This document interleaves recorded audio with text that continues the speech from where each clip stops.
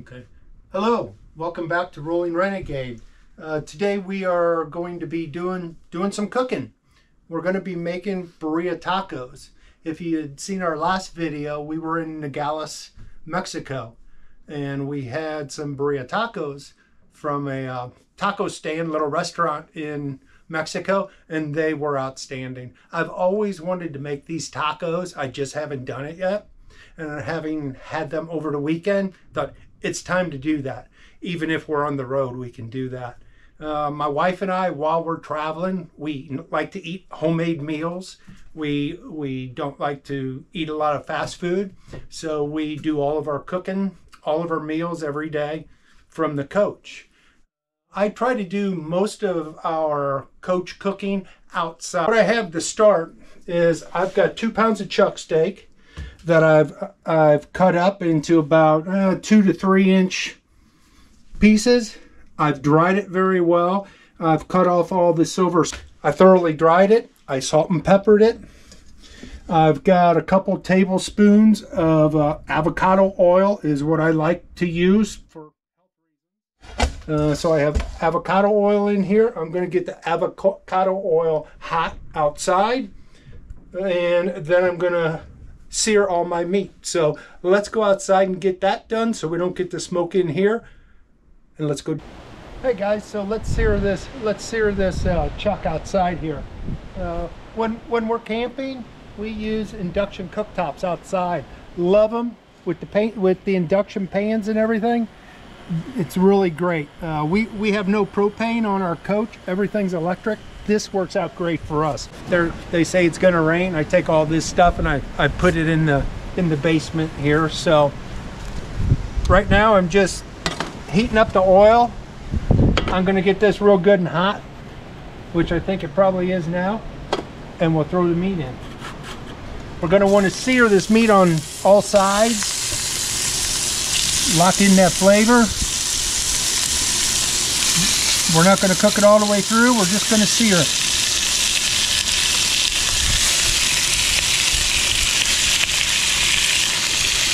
This will probably take, oh, I don't know, 10 minutes, 15 minutes, something like that. First step. Okay, got them all seared up. Let's go ahead and take these inside. So our our beef is all seared up. We're going to need this pan in a minute for the the onions and tomatoes and peppers and things like that.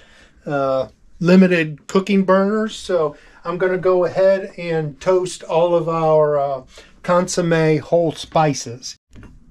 We've dry roasted these uh, spices. Oh, I wish you could smell this. It's very fragrant.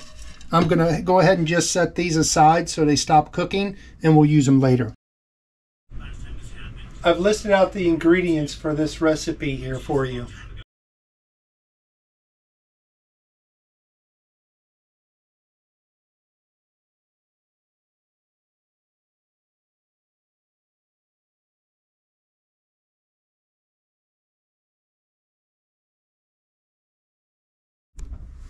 I've got our spices set to the side for later. They're cooling. Won't cook any longer there. I've taken our seared chuck. I put it in this container, trying to keep all those juices in. I've added one tablespoon of avocado oil to this pan. We're going to heat that up. We're going to throw our onions in. So we'll get those onions in. We'll get those cooked just till they soften up take a few minutes. Then we'll go in with our garlic for about a minute after these soften. Let's get these done. All right. Okay, the uh, the garlic's been was cooking for a minute. I did just add a tablespoon of dried oregano in here that I forgot to toast. And I'll go ahead and put the rest of my dry roasted spices in, give that a little stir. We're also using three chilies on this, three different kinds of chilies. One of them is a Guajillo chili uh, with the stems cut off and deseeded. Uh, the other one is a chili Colorado. Also, the uh, stems cut off, de-seeded. Then the last one is chili Diablo. So we'll, we'll throw all those chilies in. Now I'm putting in half of my beef broth. This recipe is going to call for uh, five cups of beef broth. I'm just putting two and a half in here now. We're going to turn this on and let it simmer for about probably take 10 to 15 minutes until all these these chilies will get really soft. So let's got that all stirred in. I'm to go ahead and cover it here.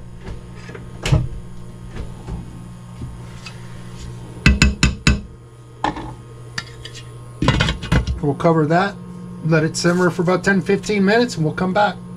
Cups to this. We're to throw our tomatoes in. That is about three fine, vine ripened tomatoes. Not too big. Not, not a huge tomato. Just a, just a medium tomato. There's three of them. Nothing particular. You, you could use four. You could use two, depending on how much you like tomatoes. And we'll let this simmer probably about 10 or 15 minutes until those chilies get good and soft. We've simmered this for, uh, looks like we did it for about 13 minutes, 13 or 15 minutes. The peppers, they're just falling apart, they're so soft. Tomatoes just totally disappeared, they're in here somewhere. Now it's time to uh, blend this all together. If you have a high-speed blender, that would work best. I do not have a high-speed blender with us here, but I do have this. And I'll work a little bit with this, get this all blended up. Handheld blender I think worked just fine. You can kind of see the consistency. Now it's time to add the other two and a half cups of beef broth. And we're going to put our seared chuck steak in here. And we're going to let it we're going to let that simmer covered for a few hours till it's just fall apart tender.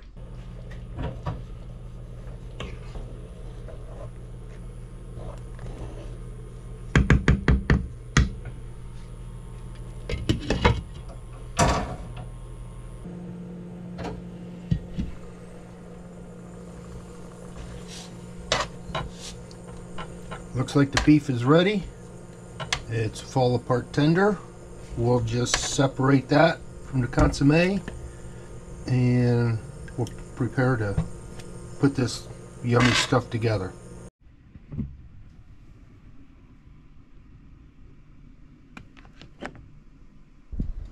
Okay guys, so we, we got everything ready. As you can probably see, uh, I have different clothes on.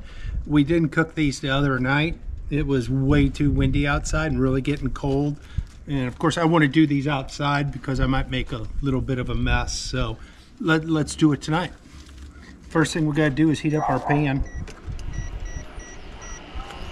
And we're just going to put in our, uh, I'm using avocado oil. You can use any kind of oil you want. Probably about, uh, I don't know, a couple teaspoons of avocado oil in there. We're just going to get the pan all good and covered with that. I think I'll put a little bit more. I am outside. I don't care about the mess. We'll let that heat up for a second. We've got our flour tortillas. Now these are kind of thick tortillas. Uh, these are made for making uh, gorditas. So if you have regular corn tortillas, you'd probably have to use two of them for this.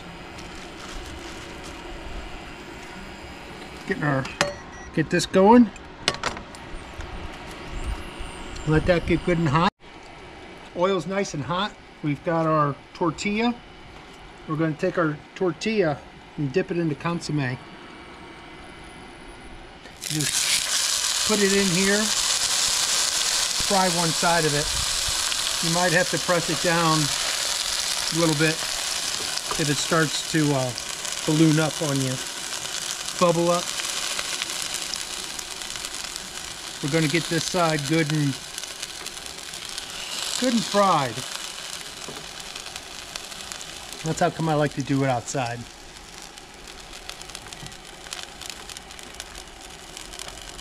And once we get that side fried, we're going to flip it over.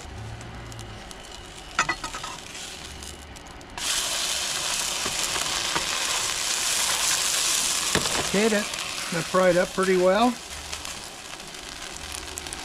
We're going to take some meat put on there.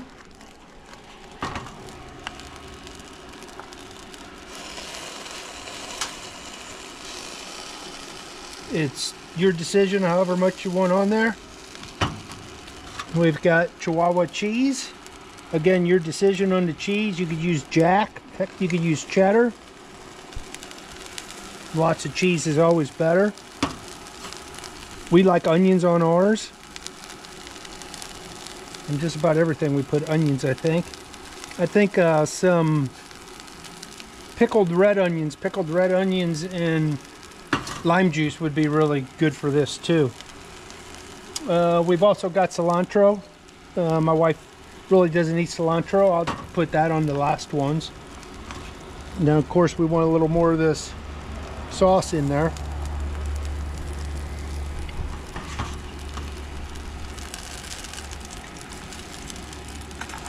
We're just make a taco out of it and fry this thing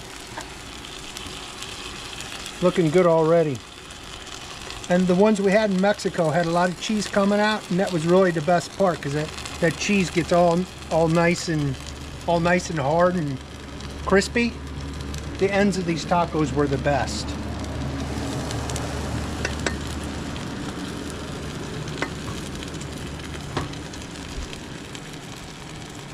We'll just give that probably a, a minute on each side, something like that. The crispier the better, I think.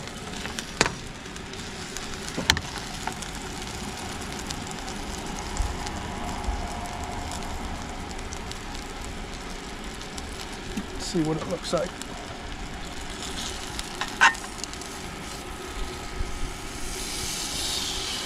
Yeah, there we go. See what we're looking for, the nice crispiness of that.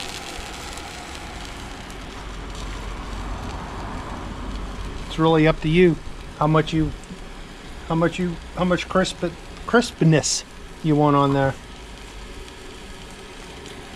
and when I get these done tonight I'm gonna put them on a plate I'm gonna make us each a couple of them put it on a plate and keep it in the toaster oven keep it warm for us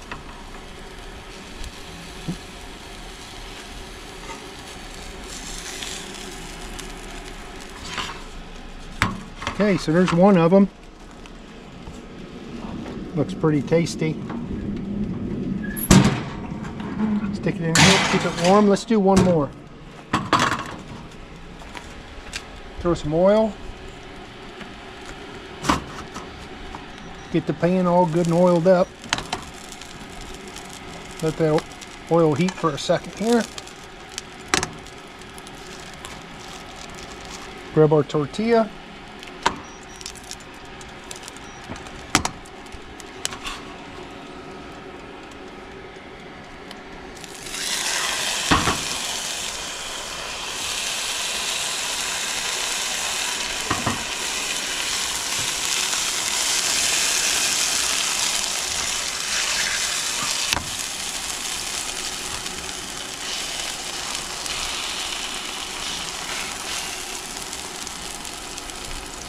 Fry it up real good. If you had a, uh, if you got a Blackstone or something like that at home to cook on top, this would be perfect. You could do a whole bunch of them at one time instead of one at a time in a frying pan. If I was at home, I'd probably be using a cast iron skillet.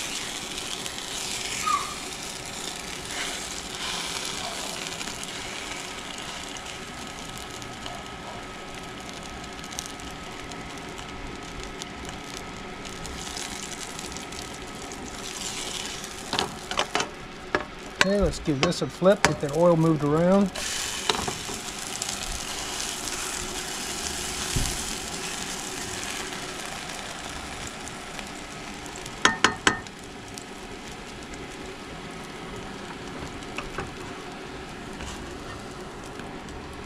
Get some of our beef on there.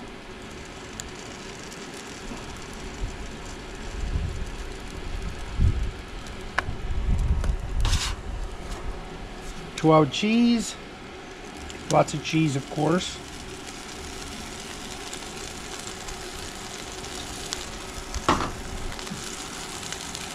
Some onions. Or whatever you want to put on, even corn. I think corn would be good on it. Grill some corn and cut it off the cob. Put some grilled corn in there. Some more consomme. And yes, they are messy to eat. But boy, are they good.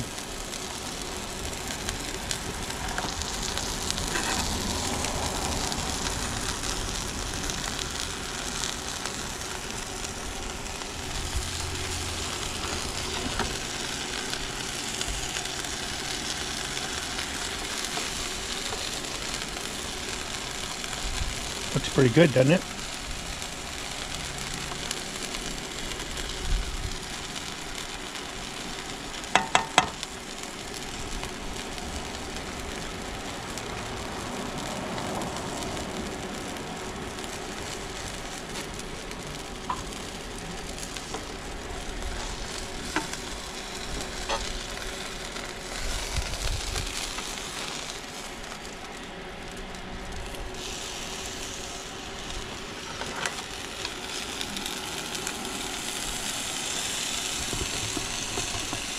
Okay, we'll just let that crisp up. Then we'll, I'm gonna do this probably a few more times and we'll take them inside and eat. We are ready, got them all done. Remember I said we were gonna cook two of them for each of us. I was gonna have four. Well, I did six because they look so good. And they're probably definitely not finger food. But let's dig in. Okay, see what we got here. Definitely not finger food.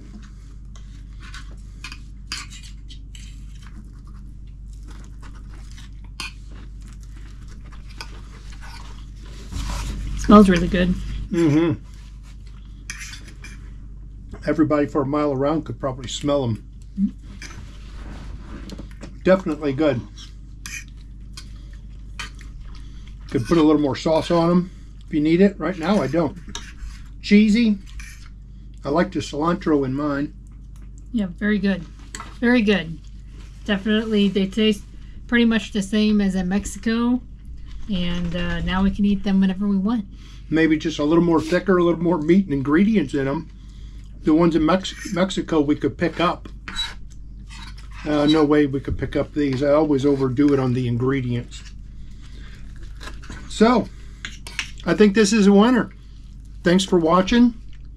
Please like and subscribe.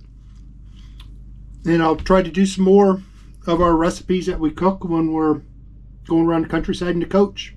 See ya.